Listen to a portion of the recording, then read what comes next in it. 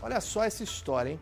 Um homem de 33 anos, ele foi detido em Botelhos, aqui no sul de Minas Gerais, depois de fugir de casa com uma bebê de apenas dois meses de vida. A menina é filha da enteada dele. Segundo informações, o suspeito chegou em casa alterado. No local estavam o jovem, o namorado dela, e a mãe dela. Houve uma briga, ele começou, é, ameaçou as vítimas ali com um facão, pegou o bebê e fugiu em seguida. A polícia foi chamada e a menina foi resgatada, graças a Deus. Felizmente, sem ferimentos. Os detalhes de toda essa confusão familiar você acompanha na reportagem do Maicon Adão. Balança! O facão que foi usado pelo suspeito foi apreendido pela Polícia Militar.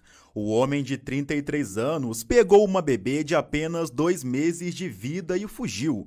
Esse caso aconteceu em Botelhos, no sul de Minas. A história começou da seguinte forma: a polícia foi chamada para atender uma ocorrência de violência doméstica.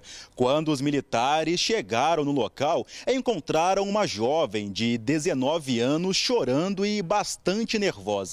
A todo instante, ela pedia para que os policiais fossem atrás do suspeito suspeito, que é padrasto dela. A mulher contou que estava em casa com a mãe e o namorado, quando o padrasto chegou alterado, dando início a uma confusão. Segundo o boletim de ocorrência, o suspeito brigou com o namorado da jovem, que saiu de casa em seguida. Em determinado momento, o padrasto pegou um facão de aproximadamente 40 centímetros e ameaçou mãe e filha de morte. Depois disso, ele fugiu levando a menina. A polícia foi chamada e o homem foi encontrado em uma esquina próximo da casa, com a bebê no colo e com um facão na mão. Ele resistiu à prisão e ameaçou os militares. Mas depois de um tempo, os policiais conseguiram convencê-lo a soltar o facão e entregar a criança. Para a PM, o suspeito disse que a confusão começou porque o namorado da enteada teria acertado um tapa na cara dele e que por isso pegou o facão.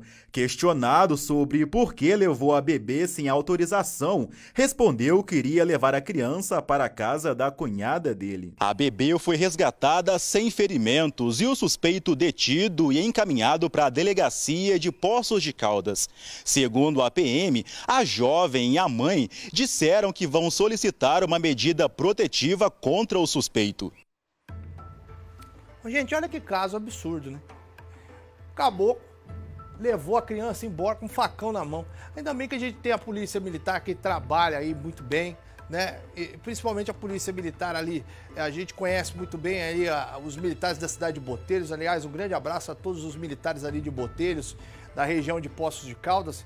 Mas é, é uma situação desesperadora, né? Você imagina a senhora aí, se coloca nessa, nessa, nessa situação dessa moça. Teu filho tá lá, de repente ele não tá mais, e quem levou foi um homem com um facão na mão. Seja ele parente ou não, a cabeça da mulher, ela fica, né? Fica parecendo um balaio de gato. Uma coisa de louco. Eu ficaria desesperado, eu tenho certeza que essa moça se desesperou, agora tem que pagar pelo crime que ele cometeu. Só que aí eu não sei como é que é, nesse sentido aí pode ser até um crime é, que não vai ser tão pesado assim para ele ficar preso, né? Nem assassino tá ficando preso direito, né? Tem uns caras que pagam aí metade da pena. Vai lá, é condenado a 30 anos de, de, de cadeia, paga seis, sai. Enquanto isso a família fica aí, né, desesperada na rua. É triste demais, né?